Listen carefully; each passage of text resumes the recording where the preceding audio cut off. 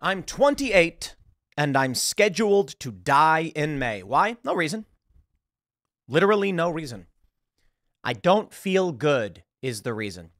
Now, I'm sure there are many people who have suffered from depression who are going to say things like, Tim, you don't understand how bad depression can be. I certainly can't say that I've ever been so depressed that I would want to end my life. And I honestly, outside of chemical issues, don't think there is a philosophical uh, depressive reason. That is to say, much of depression that people experience could be resolved by exercise, eating right, finding purpose, and many of these things. However, I do recognize that there is clinical, medical depression where someone's brain literally doesn't work. But I understand. I still don't see it as a reason to take someone's life, especially at 28. But here's the story. Now, I have to wonder why this is. You may ask yourself, what is happening to our society that in Europe and Canada, they are ramping up medical assistance and dying to people for being homeless or depressed and to young people. When I was young, the argument was look, some people are on their deathbed. They're 65, they have terminal cancer, they're being kept alive by machines, and they say, I don't want to live this way. And there's an argument over whether or not they should be allowed to just pull the plug. And one side said, No, you must live. And the other side says, It's your choice. Well, that choice was a slippery slope. Which brings us to this point where now anyone, for any reason, can just decide to die. But I wonder are these the political machinations of Malthusian conspiracy uh, conspiracists? Or is that, uh, uh, maybe that's not the right word. Conspiracists usually imply someone who thinks there's a conspiracy. Malthusian elites who want to whittle down the amount of people in this world. I don't know. I don't know. I think this this may actually just be a natural result it may be the way things were always going to go, and it may be that this is all predetermined. Now, how could that be? How could the good Lord maketh as such? Well, what I mean to say is, pending any kind of intervention from strong moral individuals, humans will do this. I don't think you need a grand conspiracy to orchestrate medical assistance in dying or anything like that. I think that strong moral endeavors fail when community breaks and populations grow too large. So it's not just that we're seeing medical assistance in dying, it's that we're seeing all sorts of degeneracy. And it's because there are no there is no large group of morally strong men and women, of course, to push back against this. Even today, you know, we talk about how Christians are mostly leave me alone, let me mind my own business, and now churches are becoming LGBT social clubs. There are not enough connected and strong individuals to say no to things like this. Here's a story from the Free Press. Zoraya ter Beek, 28, expects to be euthanized in early May. Her plan, she said, is to be cremated. I did, did not want to be a burden my part uh, I did not want to burden my partner with having to keep the, the grave tidy. We have not picked an urn yet, but that will be my new house. She added an urn emoji after house exclamation point. ter Beek, who lives in a little Dutch town near the German border, once had ambitions to be, become a psychiatrist, but she was never able to muster the will to finish school or start a career. She said she was hobbled by her depression and autism and borderline personality disorder. Now she was tired of living, despite, she said, being in love with her boyfriend, a 40 year old IT programmer, and living in a nice house with their two cats. She recalled the psychiatrist telling her they had tried everything if there's nothing more we can do for you, it's never going to get any better. At that point, she said she decided to die. I was always very clear that if it doesn't get better, I can't do this anymore. As if to advertise her hopelessness, ter Beek has a tattoo of a tree of life on her upper left arm, but in reverse. There's a funny story. There was some guy, it's an urban legend, perhaps, an internet legend, a man who was depressed, decided that he was going to kill himself, and so what he did was he flew down to Tijuana did a bunch of drugs, banged a bunch of hookers, and then realized this is great. I'm going to keep going. it's like, yikes. Well, I, I, guess that's his cure, or it's better than dying. I have no idea. May just be an urban legend. But as the online meme goes, and it dates back some 15 or so years, if you really were thinking about ending your life, then you must realize the world is your oyster. You no longer fear anything. You can do anything. You can be anything. If you've truly come to the point where you think nothing is worth it, nothing gets better, and you really want to end it, well, now your risks go to zero. There, there are many people who have children. The risk for them taking taking action to change the world, to run for office, to try and invent something, to going off on an adventure and climbing a mountain. The risk is so high. You fall from that mountain, your kid gets hurt. You run for political office, they come for your kids. But if you truly have nothing to live for, you have zero risk. Now, I certainly don't recommend anyone do anything drastic or dangerous. I'm just saying that's the meme on the internet. Unfortunately, now no one has purpose. I mean, I, I say no one, but many people have no purpose to the point where they're actually going to start killing people because they're bored. I blame our parents. You know, there's a story uh, this past weekend. A second ship crashed into another bridge. The bridge was fine. It reopened in a couple of hours. And, you know, the question is, how does that happen? Well, someone commented, and uh, it was fairly astute. They said, boomers did not pass on their knowledge. And I thought to myself, that's really interesting. And I think that's the case. I look back to, uh, I was listening to the song Longview by Green Day. I sit around and watch the tube, but nothing's on. Change the channel for an hour or two. And I was thinking to myself, you know, we used to see in these movies, everybody would say that, man, they looked really old back then. That's what they'd say. It's like in the 90s, this guy's 30, he looks 50. What happened? Well, I think it's uh, it, it, it may be fairly obvious. When I was thinking about the song Longview, I'm like, sitting around watching the TV, but nothing's on. There used to be so little to watch on TV, you'd leave your house. You'd go outside and into the sun. And the sun would cook you. Uh, Long term exposure to the sun does, does cause skin damage and it makes you appear to age faster. Not that, your internal organs are, but, you know, causes damage to the skin. So it's a fact that people who spend more time in the sun will wrinkle faster and they, they, they look older. Now with the internet, everyone's indoors 24 7 and people are starting to look younger and younger. And there are these videos where it's, oh, and she's like, I'm 50 and I look super young. Anyway, my point is this. When I was listening to that song, I thought about Where's his dad to come in and be like, get off your ass and go outside and do something? Then I thought, what was his dad doing?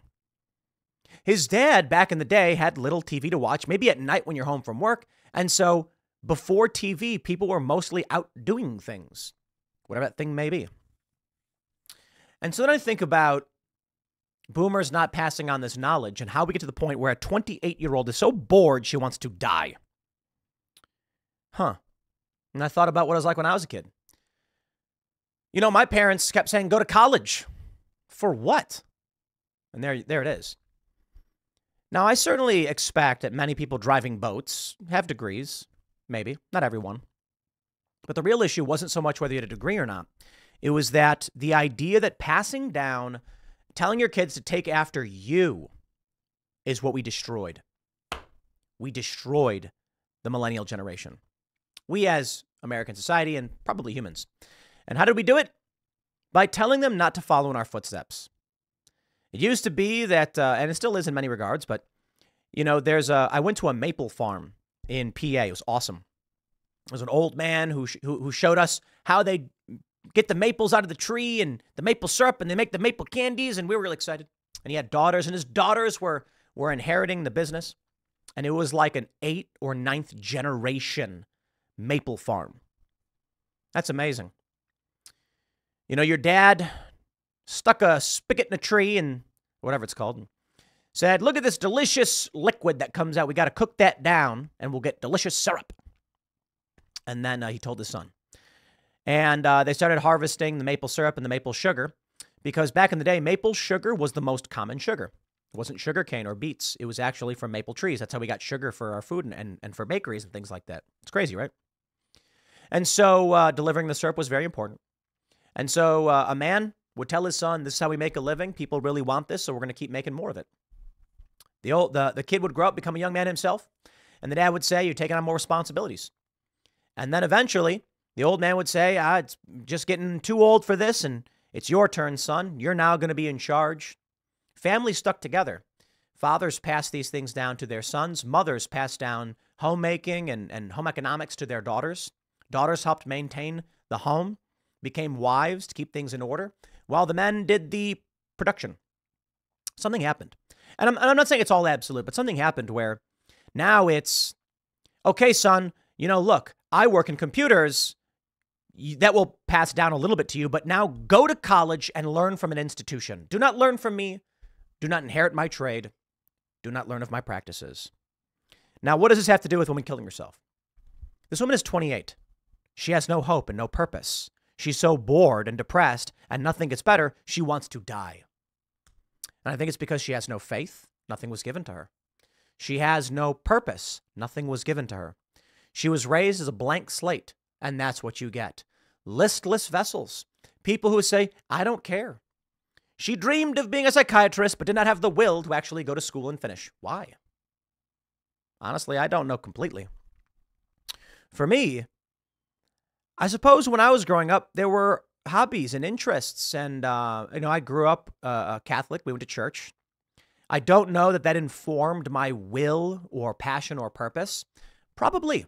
I don't consider myself Christian these days, but I I do uh, uh, I do understand the importance of the Christian moral foundation, and I I did end up reading um, a bunch of books on philosophy and uh, and some theology and stuff.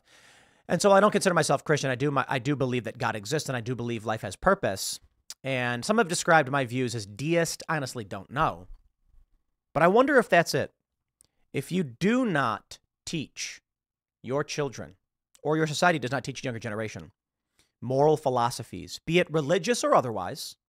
I'm sure many Christians will say Christian, of course, but yes, I'm saying Christian or some kind of strong moral philosophy, understanding rights and purpose. People sit around and think, for what?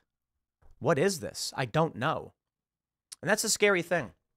When I was younger, the idea around the time when I was a teenager that I started to become atheist which was more just doing what I was told as opposed to actually believing something, was rooted very much in if, you know, religions were created because otherwise people would just kill themselves. They'd have no purpose. And so, in order to enforce laws and maintain social order, powerful men said, oh, there's a guy, he's going to punish you if you don't listen.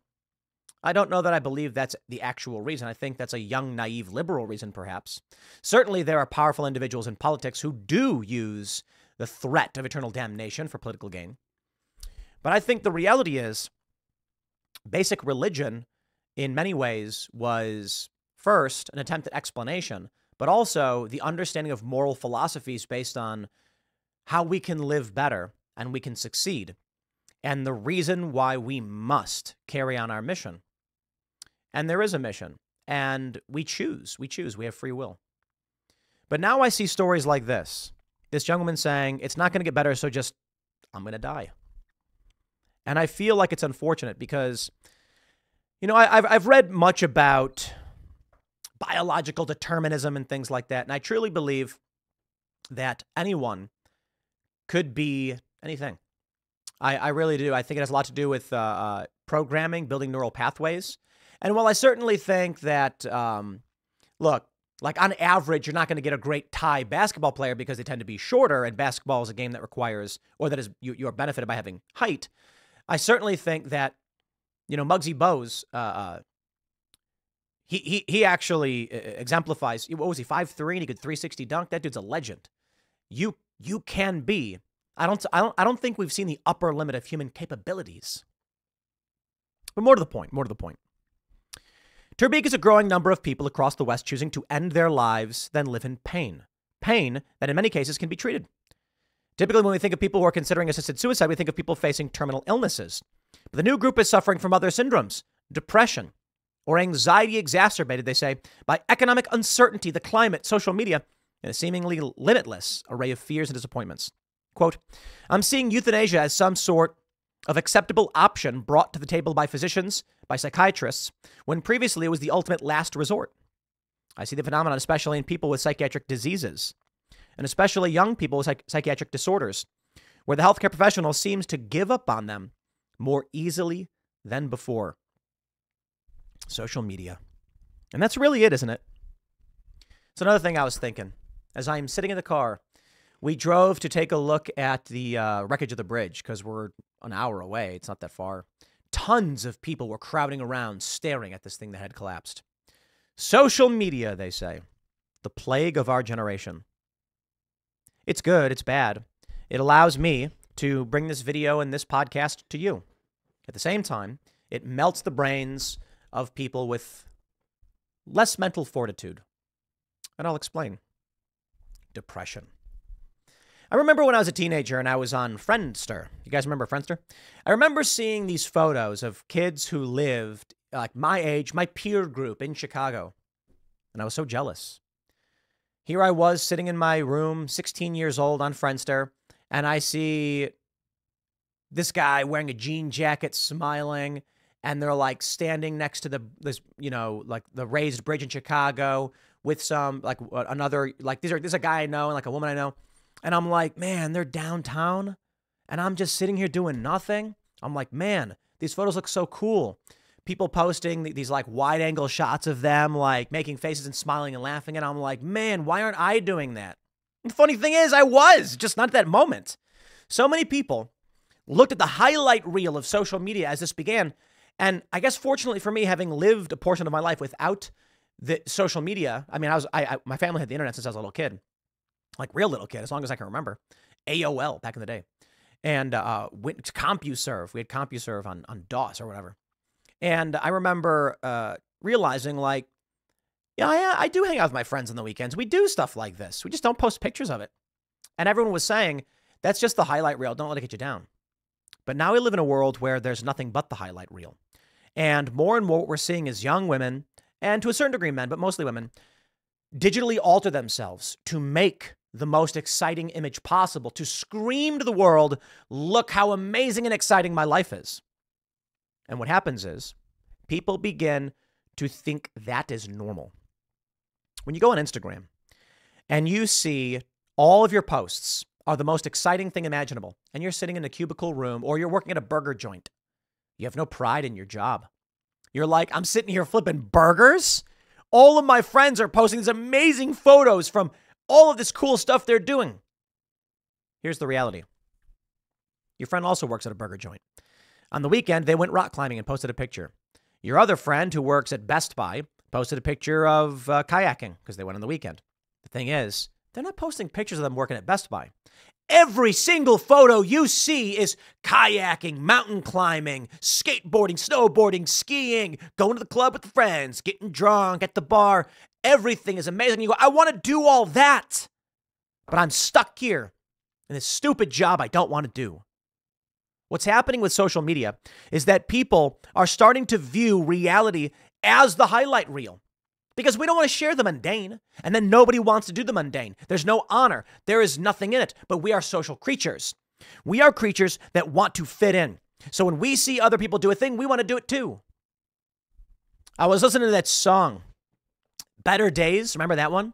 By uh, Citizen. who, who wrote that song? Better Days song. Citizen what? Uh. Oh man, it was too many. There's too many songs called Better Days, or was it not called Better Days? Better Days on the bottom drops out. Citizen King. I knew it was something like that. And like the first line in the song is, "I got a good job at the dollar store." And I was like, dude, there is not a single millennial or Gen Z kid who's going to say that line ever. Go up to their friends and be like, I got a good job at the dollar store, but I've seen better days. A good job at the dollar store? Man, millennials would not accept that. This lady does nothing, doesn't want to do anything. And her story is that she just didn't have the willpower to finish school. This does not seem depression and autism and borderline personality disorder. This seems like a young person who was ill prepared by her parents, who had the potential to be everything, but wants nothing. Can't have it, can't be it. The reality of th- this world is, is, no, is no fun anymore. Everyone's posting their highlight reels, pretending to be the, the biggest and the best. You know, it's, it's fascinating because uh, we actually, you know, when, when we were originally launching Cast Castle, it was like we're going to film a vlog, and it was a challenge. And I'm like, I still think we should. I, I do still think the, the daily goings on of the IRL Timcast uh, studio is is vlog worthy. It's probably going to shift into what the Boonies is. The uh, go, follow at Boonies HQ on Instagram. Search for it on YouTube. Subscribe. But it's going to be a lot of action sports and stuff, but uh, shenanigans, dirt bike riding around, daily vlog of what's going on in the in the studios and, and stuff like that, with a with a very action sportsy and shenanigansy environment. And um, the reality is, the challenge of it is, uh, I'll explain to you like right now. What's happening right now at the Timcast studio? There's a couple of people enjoying some delicious uh, yerba mate downstairs. There is a receptionist answering emails. That's it. There's nothing else. Nobody's skateboarding right now. Nobody's playing music. Um, Carter may be here. He may, may be working on some songs. Quiet. You walk through the building and it's an office building. People are sitting at the computers typing away. I think people assume that coming here, there's to be clowns juggling and chickens running around everywhere, and there's like a deer that sticks his head in the window wanting to get an apple or something. And it's like, you know, life is is what it is. It's all fairly mundane. I wonder if skateboarding helped me with, with this understanding, though, in that you watch a skate video and you see somebody land the trick, they land the trick, and after three minutes, you see all these tricks get landed. But everyone who skates knows it took probably 100, 100 hours to film that part. Traveling to places very boring, warming up before getting there, taking days off. Probably I wouldn't count this towards the hours. But then even when they get there, it takes them like 10 tries, depending on the trick. Some tricks are so dangerous, you're like, nah, we know that he did that right away. But a lot of the tricks are like, I wonder how long it took him to got, get that one. Sometimes you'll see a guy in the video covered in dirt with pants ripped up, and you're like, man, he was there for days. And then they tell these stories like, yeah, it took us days. We had to keep coming back. You know, I fell, I bruised my heels. I had to come back three weeks later. We tried again. Finally did it. And so we know everything we watch on those videos is just a highlight reel. But I think the average person right now doesn't understand this. And so their worldview is my life is boring and I'm depressed. I feel like the desire to be the highlight reel is responsible for so much. Why do people want to be other people? Why are people depressed? Why are people transgender? I'll tell you one component I think. We know about rapid onset gender dysphoria. You've got young people who, uh, we, what we call rapid onset gender dysphoria is when it's a social contagion element. Some, I, I, do believe that gender dysphoria existed before this phenomenon, but I do believe a lot of the phenomenon now is due to social media pressures. There was that report about uh, young women who were developing Tourette's syndrome from watching TikTokers with Tourette's. People just want to be everyone else. So what happens is if you are a young man and you see all these young women and they have millions of followers and everyone's screaming and cheering them on, we as social beings say, I want to be what people will accept. And now what people are seeing is young women getting millions of followers doing relatively little. Like, certainly there are some women who do uh, tremendous feats of strength or whatever, but typically it's like these, these women who are uh, big on Instagram, it's because they're doing sexy poses and stuff. You know, some of them will like. There's one female she likes skates and she does some decent tricks, but then she puts on dresses and she pushes her boobs up. You get a, you get a young guy, he sees this millions of followers, and for some of these people with with weaker mental fortitude, they're thinking, I want to be that, because that's what people will accept. And for some reason in my life, no one likes me. People aren't mean to me. I'm not strong. I'm not big, but I could be that. And same thing for trans men.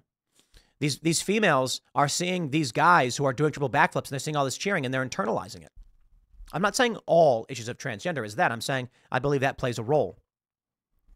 And now we have this people who decide to die instead. Perhaps this is predeterminist.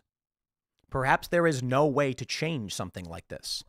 Perhaps if people do not have the mental fortitude as prepared uh, by their parents and the generations that came before them, they will be susceptible to listlessness, listlessness, purposelessness, depression, anxiety, and then eventually suicidal ideation. And I don't have the answers for you, my friends. I can only tell you this you make your purpose, you decide. Every day I wake up, I know what I have to do and why. It is a drive within me. There is a fire that I have lit, it will not go out. And that's why I do a morning show, a nightly show. I skate. We're just doing as much as we can. And I'll tell you why. There's a reason why I'm a big fan of Elon Musk. We should go to the stars. Humans should expand. Humans should, should succeed. Humans should do more. Humans should conquer. We will not do this if we become depressed and weak. We will not do this if we take our own lives. We must strive. We must never give up. And that means we need to be strong. We need to be fit. We need to eat better.